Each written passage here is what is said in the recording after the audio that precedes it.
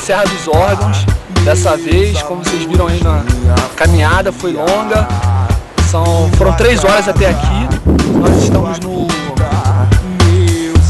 aqui em cima, aqui do meu lado esquerdo, tá ó, o dedo de Deus, a pontinha dele, quem nunca viu o dedo de Deus agora tá vendo de cima o dedo de Deus. E nosso objetivo agora é descer esse vale aqui. E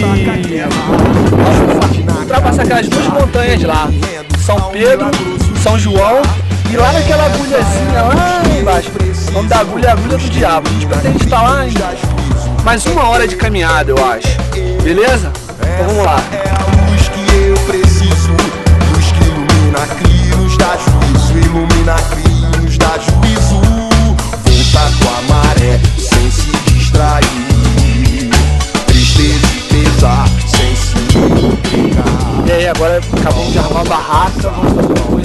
conhecimento. Tá começando a ventar.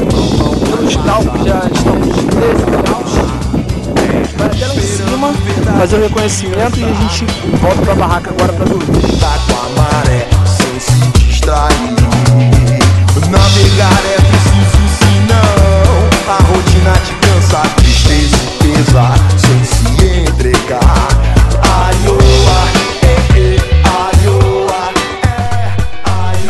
Lá, tiramos algumas fotos, contemplamos o visual e eu até que tentei fazer um videozinho, mas não deu não, porque o vento não deixou.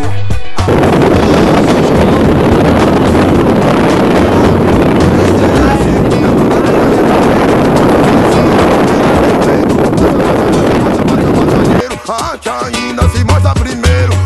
Uma onda segue a outra. Assim o mar olha pro mundo. Assim o mar olha pro mundo. Depois que descemos, tiramos essas fotos clássicas e fomos descansar no acampamento, porque o dia seguinte seria muito cansativo.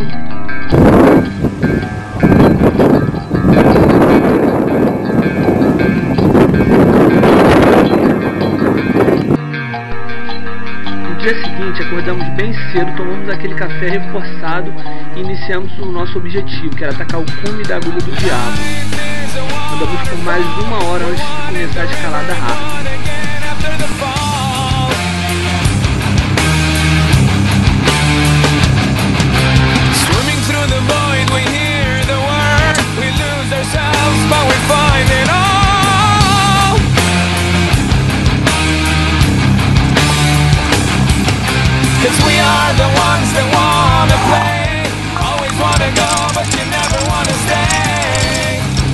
Seu Tyrone,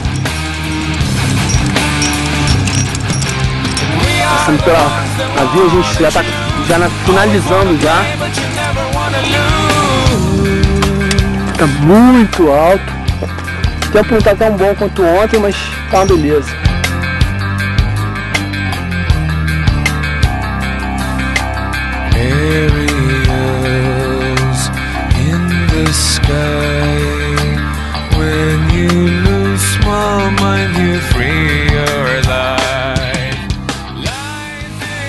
Finalmente chegamos ao cume da Agulha do Diabo, símbolo do nosso clube excursionista Light. Estamos a mais de 2 mil metros de altitude, lugar visual espetacular. Fizemos um tempo bom, deu tudo certo, graças a Deus. O tempo não está ajudando muito, mas está legal. Agora a gente vai deixar a mensagem no livro de cume, deixar como é que foi e tal. E depois a gente vai rapear um pouquinho até lá embaixo. Será que é alto? Aqui, ó, à minha esquerda tem a Teresópolis, que você está vendo, visual maneiro. E mais à sua direita, Guapimirim. Mais um pouquinho, Baía de Guanabara. Agora vamos rapelar aqui pelo Vale do Inferno. Né?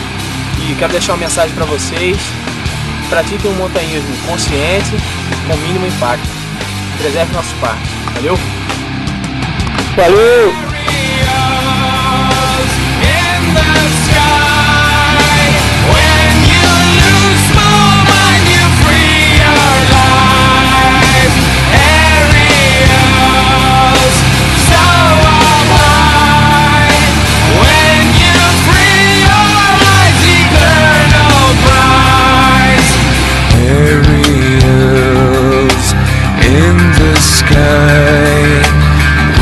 you lose my mind, you free your life.